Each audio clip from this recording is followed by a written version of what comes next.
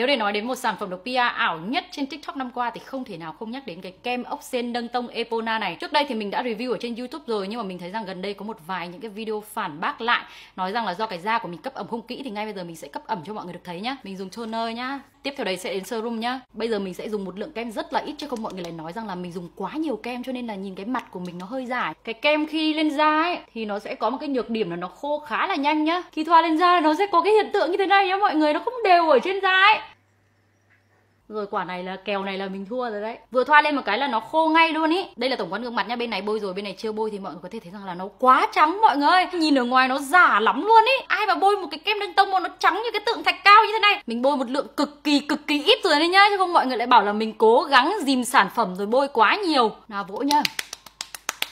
Nào thấm vào da đi em ơi chỉ cần mọi người ra mồ hôi thôi nhá, thì mọi người sẽ thấy rằng là cái kem này nó giữa ra siêu nhanh luôn mọi người và cái mặt của mọi người trông nó sẽ loang loang lổ lổ như thế này. Đây, còn đây là chán nhá, nếu như mà mọi người ra mồ hôi chỉ cần dịn dịn một chút như thế này, thì đấy là về kết cấu của sản phẩm nhá. Còn đối với những bạn nào mà nói rằng là cái kem này có khả năng dưỡng trắng da cực kỳ tốt, dùng sau khoảng tầm 2 tuần là đã thấy da trắng sáng bật tông thì nói thật với mọi người đấy là nói điêu. Lý do vì sao bảng thành phần của sản phẩm này, thành phần chính là nước, tiếp theo đấy sẽ là bột titanium dioxide để tạo cái khả năng nâng tông ở trên da rất là tốt, tiếp theo đó sẽ là niacinamide 2% sử dụng niacinamide 2% mà làm trắng da. Nghe đã thấy điêu rồi đúng không mọi người? Mọi người mà sử dụng những cái loại serum niacinamide 10% chưa chắc còn thấy trắng nhanh. Nói gì sản phẩm này là 2% bên cạnh đó sản phẩm này được nhấn mạnh là một kem nâng tông có dịch chiết ốc sen nhưng mà trong sản phẩm này chỉ có 150 ppm dịch chiết ốc sen tương đương với 0,015% chỉ đứng trước chất tạo màu thôi là cuối bảng thành phần nhé mọi người. Chốt lại ngắn gọn nhá là quảng cáo quá lố và không có gì thần thánh cả. Chấm 2 trên 10 thôi nhá.